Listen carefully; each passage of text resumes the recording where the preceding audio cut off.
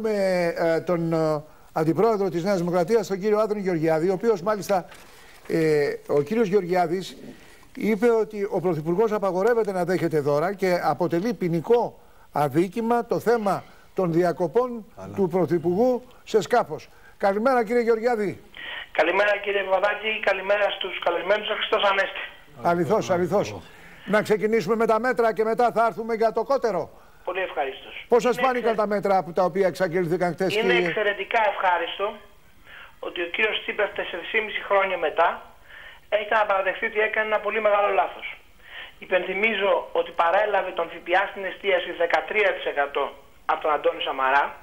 Με το που ανέλαβε τον πρώτο μήνα τον πήγε 23, μετά το δημοψήφισμα τον πήγε 24, δηλαδή τον ανέβασε κατά 11 μονάδες. Έρχεται σήμερα τρεις εβδομάδες πρώτων εκλογών και λέει έκανα λάθος. Βεβαίως το λάθος που έκανε ο κύριος Τσίπρας το πληρώνουμε εδώ και 4,5 χρόνια σε οτιδήποτε τρώμε.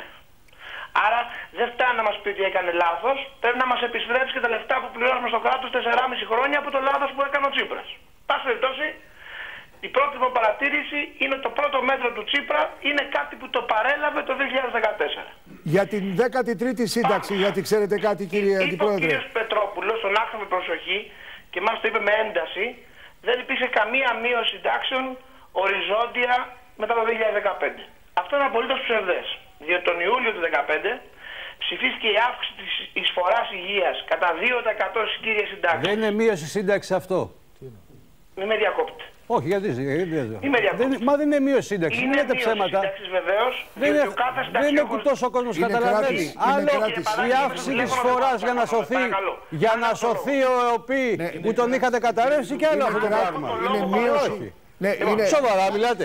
μείωση με την Τα έννοια. 2 ευρώ, τα 2 ευρώ η επιπλέον εισφορά ή τα 5 ή τα 7 ευρώ είναι μείωση σύνταξης. Μην τρελαθούμε. Εντάξει τώρα. Θα Μάλιστα. το ολοκληρώσω. Ε, να εδώ, ακούσει ο εντάξει. κόσμος, γιατί εγώ δεν μπορώ τα ψέματα. Ξαναλέω, τον Ιούλιο του 2015 θεσμοθετήθηκε 2% περισσότερη κράτηση από το 4 στο 6 Μάλιστα. για όλες τις κύριες συντάξεις και τις χαμηλές συντάξεις και 6% από το 0 στο 6 για όλες τις επικουρικές. Μάλιστα. Αυτό έπιασε όλες τις συντάξεις, άρα όλοι οι συνταξιούχοι πέσαν οριζόντια μείωση στη σύνταξή τους. Κύριε Γεωργιαδή, Μάλιστα. τα μέτρα αυτά Και σώθηκε το Ταμείο θα, Υγείας. θα τα ψηφίσει η Νέα Δημοκρατία. Η Νέα Όπως ήρθα. Δημοκρατία σε αντίθεση με τον ΣΥΡΙΖΑ, πενθυμίζω τον Απρίλιο του 2014 η κυβέρνηση Σαμαρά είχε δώσει ένα παρόμοιο Θα τα μέτρο. ψηφίσουμε Πάλι όλοι. 500 ευρώ αν θυμάστε στους χαμηλούς ταξιούχους. Τότε ο κύριος Τσίπρας είχε καταψηφίσει το πακέτο Σαμαρά λέγοντας ότι προέρχεται από, αιματο- από αιματηρά πλεονάσματα. Τα θυμάστε φαντάζομαι. Εμείς δεν είμαστε ΣΥΡΙΖΑ.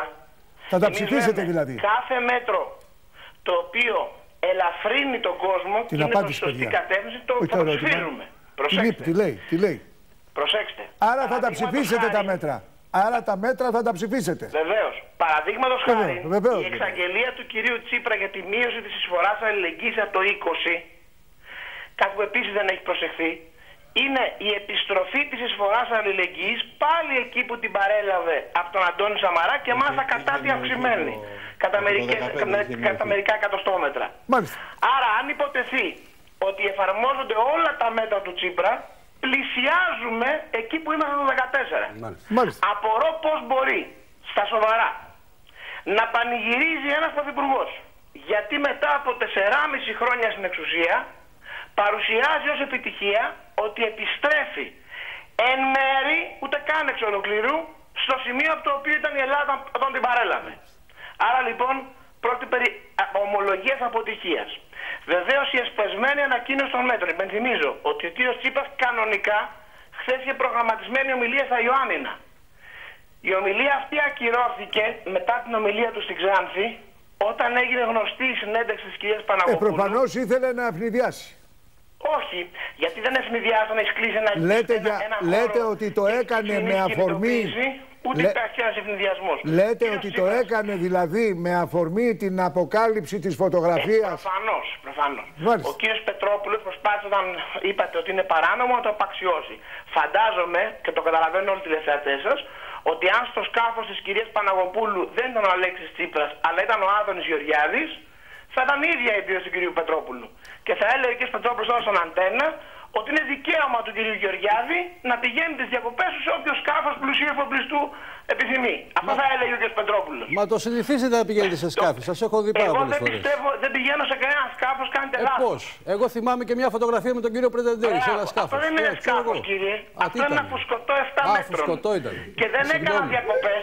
Με πήγε Συγγνώμη. από το ένα λιμάνι στο Και άλλο. σανότερα, και Τα σανότερα. μπερδεύω εγώ τα 35 σκάφη και τα λεπτών. φουσκωτά τα μπερδεύω λίγο. Δεν τα Μάλιστα. ξέρω καλά. Και για να καταλάβετε και Και ευχαριστώ σανότερα το- έχετε δρόμο μέχρι να γίνετε πρωθυπουργός και εσείς να πάτε σε κότερο. σκάφος αυτό του Πρετεντέρη το φουσκωτό μου έκανε επίθεση στη Βουλή και ο Αλέξης Τσίπρας και ο Πάνος Καμένος. Όχι για Και τη ρωτώ, βόλτα όμως, κύριε όχι για τη Πετρόπουλε. βόλτα, όχι για Και τη ρωτώ, βόλτα. κύριε Πετρόπουλε, Όχι για αφού τη το αφού βόλτα. πηγαίνατε για μαλλί θα βγείτε τώρα κουρεμένο. Ναι, καλά. Πώς γίνεται ο κύριος Τσίπρας να κατηγορεί τον Άδωνη Γεωργιάδη; Γιατί πάτησε το πόδι του σε ένα φουσκωτό 7 μέτρων του κυρίου Γιάννη Πεντεντέρη αλλά να είναι λογικό να παίρνει και δικαίωμά του για 7 μέρες, δυο εβδομάδες να το μάτι, ε, μια θαλαμιγό 34 μέτρων με το πλήρωμα και να γυρνάει το Ιόνιο, δηλαδή να δέχεται ένα δώρο μεγαλύτερης αξίας των 100.000 ευρώ. Μάλιστα. Πρέπει να σας θυμίσω γιατί παλιοί μπορεί ο κ. Μαρδάκη σίγουρα το θυμάται. Το 2002 ο τότε πρόεδρος της Κομισιόν, ο κ. Εμμανουέλ Μπαρόζο, είχε κάνει μια βόλτα με το με θαλαμιγό του Γιάννη Τλάτση, του αμνίστου.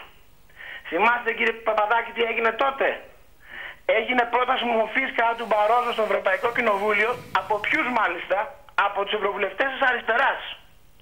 Και έκτοτε θεσπίστηκε ο κανόνας στην Ευρώπη να απαγορεύεται Μάλιστα. να δέχεσαι τέτοιου είδους δώρα. Πάντως, Άρα, ε, ο κύριος Τσίπρας, ο οποίος προφανώς εγνώριζε ότι αυτό που έκανε ήταν ηθικός λάθος. Γι' αυτό και δεν το ανακοίνωσε. Πάντως, α, κακά τα ψέματα, εδώ θα πρέπει να πούμε ότι οι πολιτικοί έχουν κάνει διακοπές σε κότερα. Όχι, όχι, όχι. Δεν έχετε δίκιο. Να θυμίσω τον Υπενθυμίζω κύριο- τον κύριο Τσουκάτο. Αν δεν κάνω μόλις λάθος, εμφανίστηκε και διορθώστε με, Σε κότερο. για τον κύριο Στοιχειοδός όμως, Πάγκαλο. για την Για τον κύριο οντολογία Πάγκαλο, στην δεν θα με Στοιχειοδός. πει. Και ο Ο κύριος Πάγκαλος Τσουκάτος έχει σχολιάσει τον κύριο Στοιχειοδός Τσουκάτο. πρέπει Είχε να σχολιάσει. αναφερθείτε στη- στη δήλωση της κυρίας Ο Παναγοπούλου. Ανδρέας Παπανδρέου, ο αείμνηστος, ο Κύριε αείμνηστος Παπαδάκη, κυβέρνηση στοιχειοδός, την επόμενη στοιχειοδός, πρέπει να διαβαστεί σε αυτά που λέει ο κύριος Γεωργιάδης και μια απάντηση που δίνει η κυρία Παναγοπούλου από Έχει διαβάσει. προχθές. Την είπαμε, Όχι, την- ε, με συγχωρείτε. Τη ναι. δώσαμε. Δεν είσαστε Έτσι, εδώ. έτσι. Πριν Βεβαίως. έρθετε ακριβώς, Εντάξει. είχαμε ακριβώς αυτό Λοιπόν, που είπε η κυρία Παναγοπούλου. για τα- Για να κλείσω κύριε Τώρα, Παπαδάκη. τώρα να θέλουμε να συμψηφίσουμε κότερα με κυρία μέτρα και τώρα. Παναγοπούλου τον Εντάξει, είναι, έκαψε τον κύριος νομίζω Τσίπρα. ότι το κάνουμε λίγο φτηνό. Ακούστε Αλλά λίγο εντάξει, ένα ο κύριος, τελευταίο. ο κύριος Γιατί τον Γεωργιάδης έκαψε. μπορεί να το. Δεν έχει όριο σε Η αυτό. κυρία Παναγοπούλου τον έκαψε τον κύριο Τσίπρα και ακούστε γιατί. Μάλιστα. Είναι άλλο πράγμα να έλεγε η κυρία Παναγοπούλου. Κάναμε με το σύζυγό μου ένα ταξίδι στο Ιόνιο και καλέσαμε τον κύριο Τσίπρα και τη σύζυγό του. Αυτό νομικά θα ήταν φιλοξενία και δεν είναι παράνομο. Μπορεί να είναι ηθικός και πολιτικός επιλήψιμο. Αλλά παράνομο δεν είναι. Όπως εγώ πηγαίνω με τον Πρεντέρη, ο Πρεντέρη οδηγούσε το σκάφος, όχι εγώ. Ε, εντάξει, Και άλλο τώρα πράγμα, επειδή δεν να ήταν λέει η μέσα κυρία είναι. πα- Παναγοπούλου, ότι Μένετε εγώ σε ήμουν μία στο σπίτι μου λεπτομέρεια. Στην Αθήνα με τον σύζυγό μου. Κύριε Αντιπρόεδρε, μένετε σε μία λεπτομέρεια. Ωραία, του σοβαρά είπα ότι μιλάτε. ξέρεις κάτι, πάρε το. Ο πρόεδρος της Γερμανίας πριν από πέντε χρόνια παρετήθηκε για ένα δώρο 300 ευρώ, το ξέρετε. Μα δεν, το χρησι... δεν ήταν καπετάνιος ο Τσίπρας, ήταν το πλήρωμα του. Ο, ο, κα- ο Τσίπρας ήταν καπετάνιος, αυτό σας λέω. Του παρεχώρησε η κυρία Παναγοπούλου, είπε η ίδια, του είπε η ίδια. Μάλιστα. Ότι του παρεχώρησε το, τη Θαλαμιγό. Και υπάρχει μια ακόμα σημαντική λεπτομέρεια. Φυσικά αυτή είναι μια αριστερή θαλαμιγός, δεν είναι δεξιά θαλαμιγό, μην μπερδευόμαστε.